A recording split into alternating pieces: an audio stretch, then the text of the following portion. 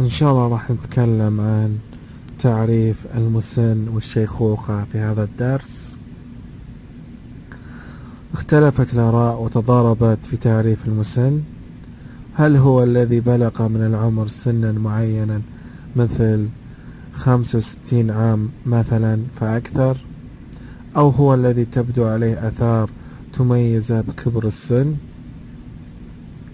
هناك رأي بأن الشيخوخة تغير طبيعي آه، يعني تغيير طبيعي في حياة الإنسان أي أنها تطور في يعني فسيولوجي آه، شأنها كمرحلة الرضاعة والطفولة والبلوغ والسن آه، الوسط ثم يعني الكهولة.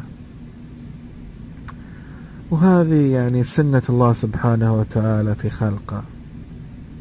قد يفسر هذا التغيير الفسيولوجي بأنه نتيجة التحول الذي يطرأ يعني يطرأ على أنسجة آه، الشخص آه، الكبير آه، أو المسن.